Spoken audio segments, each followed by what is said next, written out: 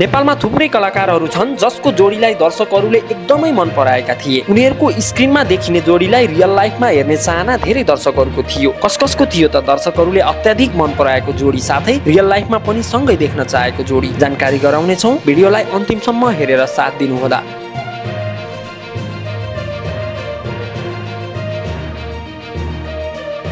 एक समयमा दर्शकले मन पराएको हिट जोडी हो राजेश हमाल र करिश्मा मानन्दर केसीको। यिनीहरूले सँगै काम गरेका फिल्म त हिट नै छन्। त्योभन्दा धेरै यिनीहरूको जोडीलाई दर्शकहरूले मन पराएर हिट गराएका थिए। राजेश हमाललाई नेपाली चलचित्रमा महानायकको रूपमा लिइन्छ। उनले दुई हजार छ्यालिसमा नेपाली चलचित्र युगदेखि युगसम्मबाट नेपाली रजतवटमा पाइला टेकेका थिए। उनको पहिलो चलचित्र नै सुपरहिट भएको थियो भने करिश्मा मानन्दर दुई हजार बयालिस सालमा सन्तान मुभीबाट नेपाली चलचित्रमा पाइला टेकेकी थिइन्। उनी उक्त फिल्ममा प्रवेश गर्दा मात्रै चौध वर्षकी थिइन्। करिश्मा मानन्दरलाई नेपाली नायिकाहरू मध्ये सबैभन्दा सुन्दरी नायिकाको रूपमा लिइन्छ भने उनलाई सदाबार नायिका भनेर पनि भन्ने गरिन्छ। राजेश हमाल र करिश्मा मानन्दरले सँगै काम गरेका हिट मुभी साथी ढुकढुकी बसन्ती अल्लारे लगायत अरू थुप्रै छन्। उनीहरू दुई बिचको नाम जोडिएर कुनै समयमा धेरै गसी बन्ने गर्थ्यो। दर्शकहरूले यी दुईको जोडी रियल लाइफमा हेर्न चाहन्थे तर करिश्मा मानन्दर फिल्म लाइनमा आए लगत्तै विनोद मानन्दरसँग विवाह गरेकी थिइन् भने राजेश हमालले दुई हजार चौधमा मधु भट्टराईसँग विवाह गरेका थिए।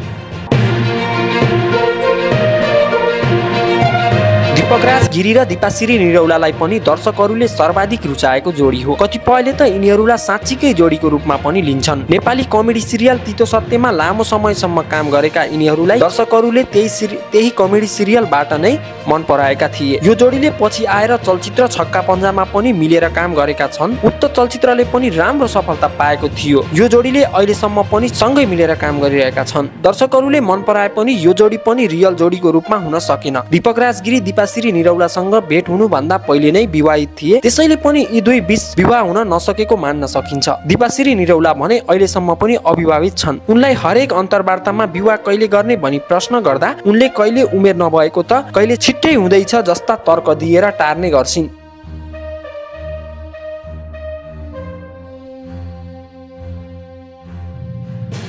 दर्शकहरूले अत्याधिक मन पराएको अर्को जोडी हो रेखा थापा र रमित ढुङ्गानाको। एक समयमा रेखा थापा र रमित ढुङ्गाना पनि हिट मुभी दिने सफल कलाकारको रूपमा चिनिन्थे। यी दुईजनाले देवर बाबु दुर्गा धड्कन हिम्मत जस्ता हिट फिल्म सँगै गरेका थिए। यो जोडीलाई पनि दर्शकहरूले अत्याधिक मन पराए पनि रियल लाइफमा भने यो जोडी हुन सकेन। नायक रमित ढुङ्गाना फिल्म लाइनमा आउनुभन्दा पहिले नै विवाहित थिए भने रेखा थापा पनि छविराज ओझासँग विवाह बन्धनमा बाँधिसकेकी थिइन्। पछि आएर छविराज ओझासँग डिभोर्स गरी सिङ्गल बस्दै आएकी रेखा थापा केही समय अगाडि बलाराम साईसँग दोस्रो विवाह गरेकी थिइन् र अहिले उनी एक सन्तानकी आमा समेत बनेकी छिन् भने रमित ढुङ्गानाका पनि एक्काइस वर्षका एउटा छोरा छन्। नेपाली चलचित्रमा अत्याधिक मन पराइएको अर्को जोडी हो आर्यन सिग्देल र नम्रता श्रेष्ठको। यो जोडीलाई पनि दर्शकहरूले रियल लाइफमा सँगै भएको हेर्न चाहन्थे तर यो जोडी पनि चलचित्रमा मात्रै सीमित भयो। आर्यन सिग्देल र नम्रता श्रेष्ठले मेरो एउटा साथी छ November rain classic homework superhit superhit movie सँगै गरेका थिए। नम्रता श्रेष्ठ अहिले पनि अविवाहित छन् भने आर्यन सिग्देल सपना भण्डारीसँग विवाह गरेका हुन्। उनको एउटा छोरा समेत छन्।